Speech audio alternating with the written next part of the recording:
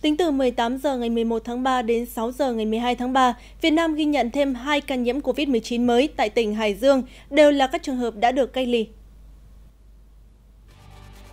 Tính từ 18 giờ ngày 11 tháng 3 đến 6 giờ ngày 12 tháng 3, ghi nhận 2 ca mắc mới tại tỉnh Hải Dương, đều là các trường hợp đã được cách ly. Tổng số bệnh nhân mắc COVID-19 là 2.535 ca. Tổng cộng 1.590 ca mắc COVID-19 do lây nhiễm trong nước, trong đó, số lượng ca mắc mới tính từ ngày 27 tháng 1 đến nay là 897 ca. Số người hiện được cách ly và theo dõi sức khỏe 44.540 ca.